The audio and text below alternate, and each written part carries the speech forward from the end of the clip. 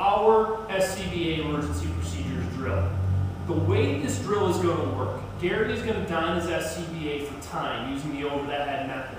We've talked before about the over the head method and the importance of using it because it gets you that intimate familiarity with all the straps and connections on your SCBA. What this does, wearing gloves the entire time, getting familiar with straps, positions, buckles, allows me to now translate that into more comfort in executing my emergency procedures. So, what's going to happen? When I call go, Gary's going to don his air pack for time. At that point, once he is fully encapsulated, hood up, um, helmet on, on air, he is going to go ahead and wait for me to begin giving him a series of directions. This is the way we teach our emergency procedures classes. We go through a very formulaic process to educate the student. Gary, you ready? All right. Time standard is 45 seconds. Three, two, one, go. Gary turns on his bottle and calls out his air pressure. Five. Air pack comes up over the head, straps come on, waist strap comes on,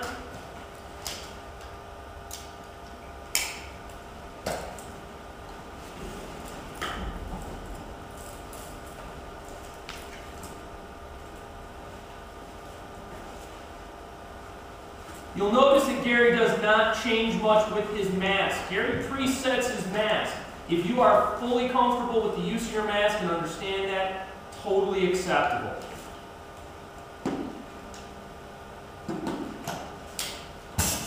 Gary's on air right at the 45 second mark. If we were looking to drive this for an even faster time, we would do things like have him keep his chin strap already buckled, things like that. All right, Gary. So the next thing that we're going to do is go through our emergency procedures check. When we teach an emergency procedures check, we have the student take their left hand to their face piece. Their left hand goes directly to their face piece and feels down. That activates their bypass valve. As that left hand activates the bypass valve, now it follows that hose all the way back. At the same time, Gary's going to reach back with his right hand and make sure his cylinder valve is all the way on. In doing these things, he has cleared all potential problem areas. He sweeps his face piece initially to make sure it's intact, checks his purge valve, makes sure his bottle's on. One of the reasons that we have him check his hose line all the way back is that very simply, I can pinch this line off and actually reduce airflow to the bottom. So by clearing that hose all the way back to my primary regulator, my first stage regulator, I ensure that I haven't gotten a pinch somewhere else along the line. So, if we've done that process, the next thing that we're going to work on now is going through shifting our pack to get through a confined space reduced area. The way we teach shifting our pack is that we will always shift the pack to the left. Our regulator comes up on our left side, our purge valve comes up on our left side. That's where our air is always going to be. So Gary is now going to go ahead, lay down on his belly, as though he's come upon an obstacle that he can't crawl through because of the height of his bottle, and he's going to go ahead and on the call of shift, he's going to shift his pack to the side. Go ahead and shift, Gary.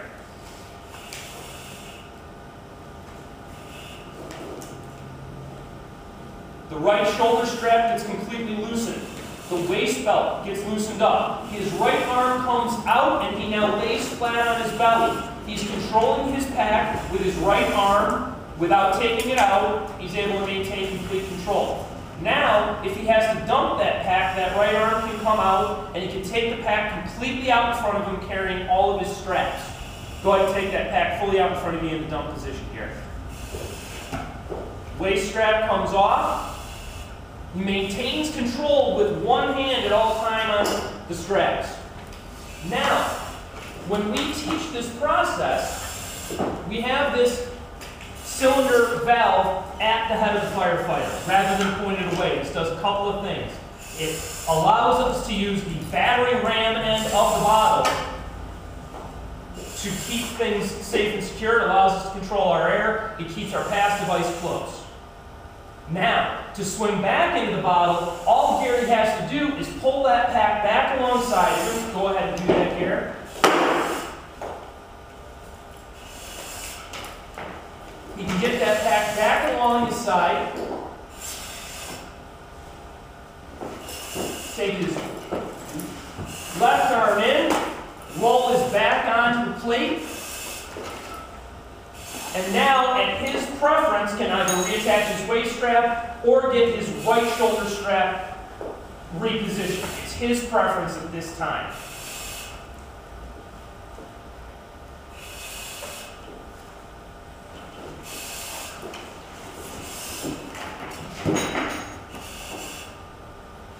What we can see is that by rolling, Gary's able to bring his straps up, find the proper positions, get things untangled if they've gotten twisted during the shifting and dumping process.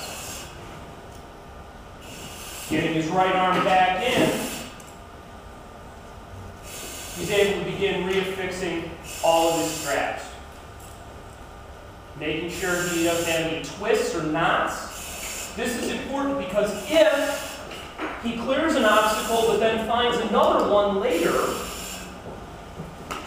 having twists and tangles is going to reduce his mobility over time.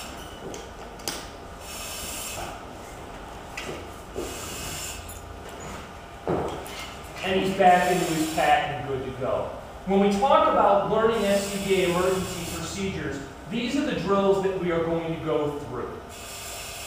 In person, when we teach these drills and are able to be hands-on, the next step in this evolutionary process is going through reestablishing your air supply after it has been cut off.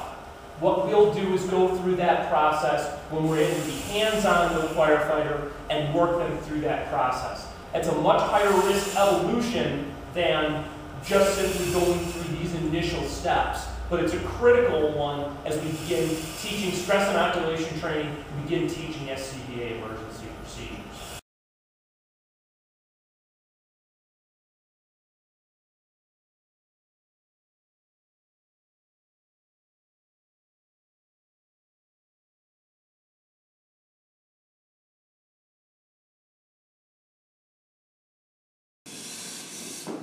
All right, so what we're going to do now is go through demonstrating a way of applying stress. Let's say we've had a significant period of time with our candidates where we've been able to have them do 30, 40, 50 good sets and reps of donning and emergency procedures work. They're now fairly comfortable with where straps are, what they're supposed to be doing. We want to ratchet the intensity level up just a little bit. What we're trying to do is develop positive behaviors under stress. The only way to do that is to put the candidate into a stressful environment and then coach them through that moment. So what we're going to do now is show what that looks like. Shift your pack! Shift your pack! Shift your pack!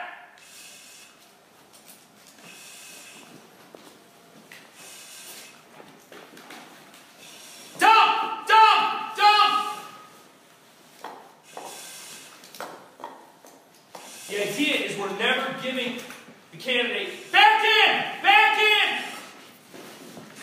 We're never giving the candidate enough time to fully complete any one of the steps. By having to rush them a little bit, they have to accomplish any number of tasks and keep up with dump, dump.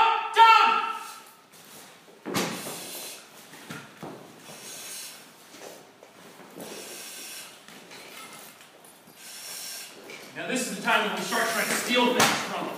We want to make sure that they're keeping full control of things. We're not doing this to be difficult. Gary, now is the time. Take that deep breath. Let go. Relax. Taking a deep breath reboots our cognitive processing centers. It allows that anxiety reaction to relax just enough that our fine motor control can start to come back and our ability to execute these tasks, tasks is increased.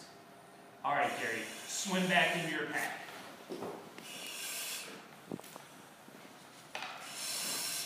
The whole idea behind stress inoculation training is to train the candidate, train the firefighter to react positively under stress.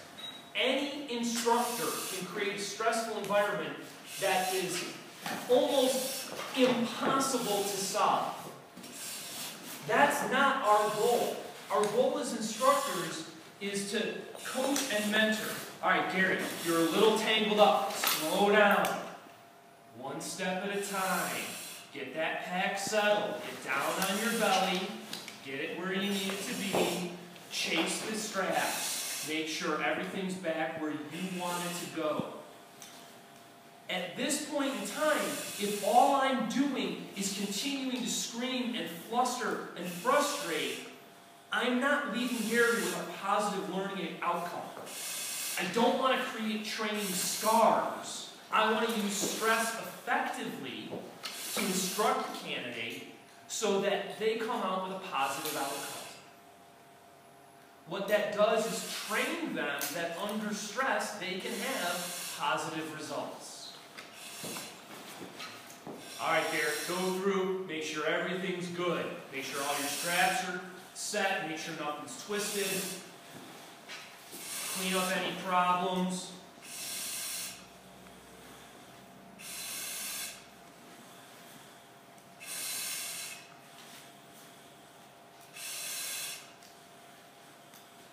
What we don't do is jump in and solve the problem for the candidate. Gary's got a twisted strap here. I'm not going to come in and flip it back into position and fix it for him. I'm going to let him fix it himself. But I'm going to coach him through it if need be. Hey, Gary, there you go, pal. You got your hand on the strap. Go ahead and get that twist out of his shoulder strap so it sits nice and pretty. If you need to, you can slide your arm out to fix it, but otherwise just get it twisted nice and straight. Get it tightened back up. All right, back up on your knees. All right, sit on up. Excellent job. What we do, we leave that student with a positive outcome. Anytime we attempt to use stress as a training tool, it has to be done incrementally. We can't merely put the pedal to the floor. All that's going to do is leave training scars and turn Gary off on high intensity training for the future. However, if we apply a little stress and allow the student to adapt, then we can apply a little more stress, allow the student to adapt, until finally we're conducting some fairly significant emergency procedures drills in uh, SCBA maze with theater smoke, and then finally progressing to an actual burn tower environment. These are all ways of improving the capacity for the firefighter to thrive on the fire ground under pressure.